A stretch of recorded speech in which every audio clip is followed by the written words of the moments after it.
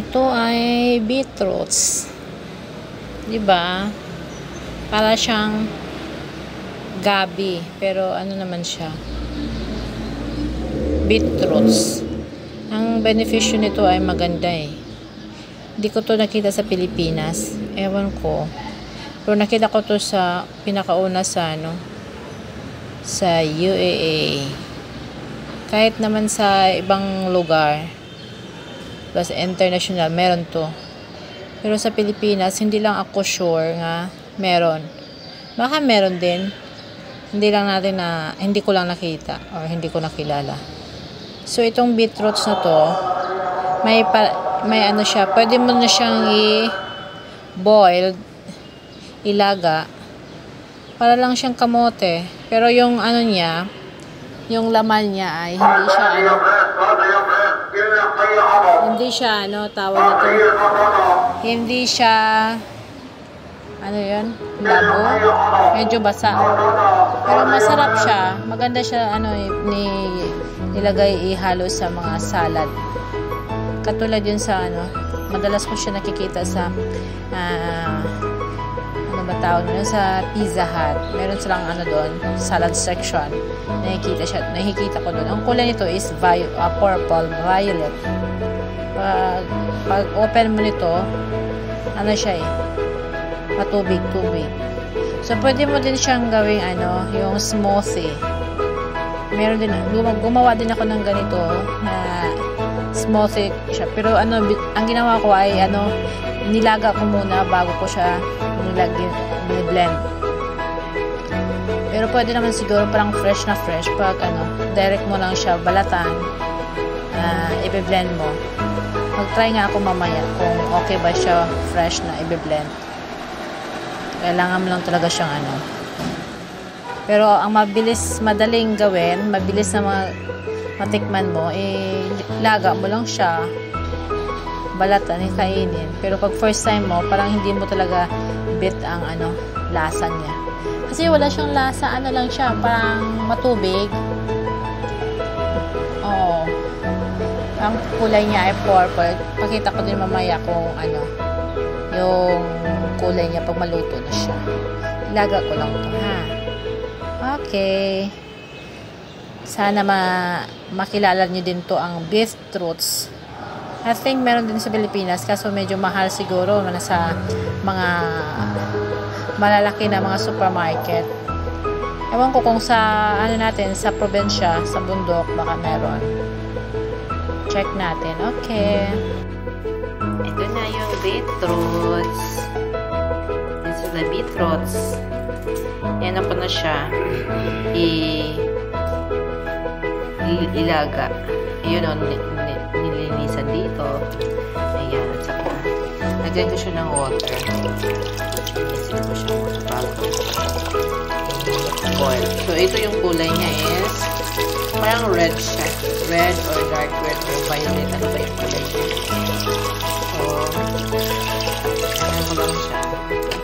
Kahit linisan mo pa siya, ganun talaga yung ano niya, yung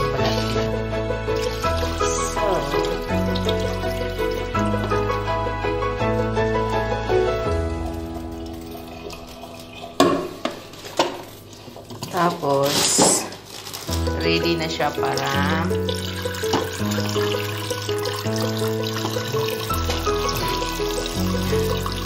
Hingin mo siya ng tubig para ano, medyo matagal kasi tumal, lumambot eh. Yung tubig niya, umaapaw lang, tama lang din. Ayun. Tapos, maximum how many minutes? 15 minutes? Finish?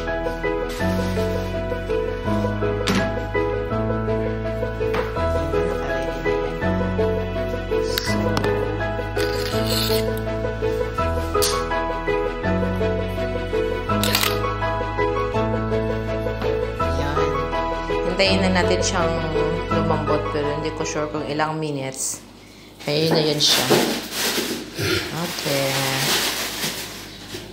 Check na natin siya mamaya kung ilang minuto ba ang ano niya. Ayun na. Ilaga. Ilaga ko siya. Ayun. Yun ang beetroots. Ito yung paraan paano mo siya i-prepare para kainin. So guys, let's wait until it cook. Ayun na. Kumukulo na yung ano niya, tubig. Kaso nag-change ang kulay niya, di ba? Parang red na ang kulay ng water. Kasi yung laman niya ay red. Red violet o ano ba yan? Kasi it takes little time lang siguro. Mga 15 minutes or 20 minutes. Okay na yun siya. So, while we're waiting, later, after 20 minutes, I will check again.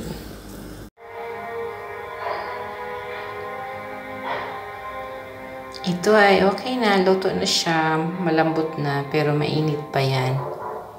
Palamigin muna natin dyan. Hayaan ko muna siya dyan lumamig kasi pag kinalaw mo siya na ano, sobrang init eh. Eto na. Ah, di ba?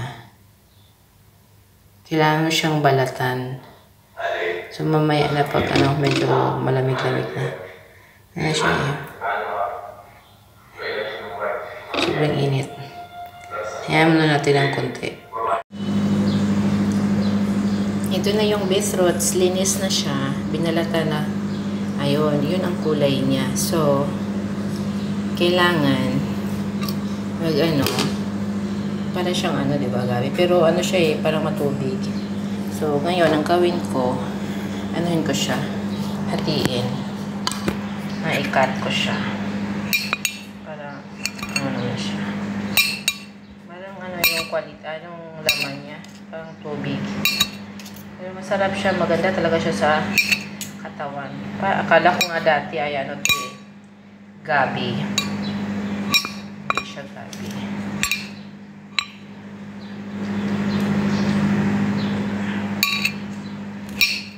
Ikat mo lang siya ng cube. Kung gusto mo siyang dati nilagyan ko siya ng ano, mayonnaise.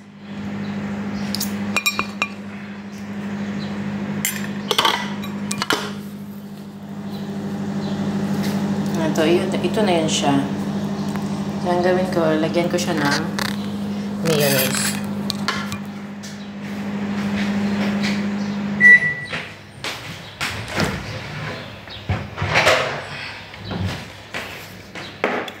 Para medyo may taste naman siya. Kasi pag bago tayo, hindi tayo madalas kumain nito, hindi mo talaga siya malit. Kasi wala siyang kalasa-lasang tamis.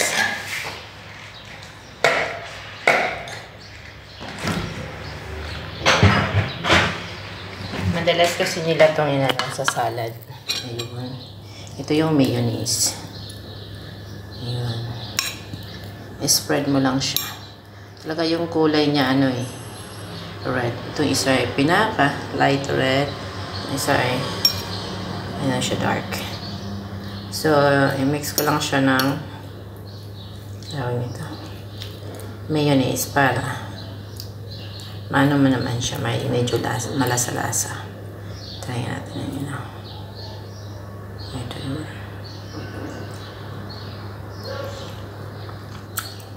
Mm. Ang harap siya. Ito lang, beetroot salad. Mm. Yan.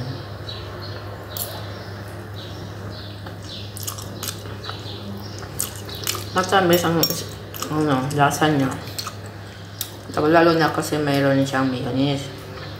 Ayun. Nang ganito siya. Ayan, ganito na siya. Ready to eat na yan. Malinanong siya. At good for the health.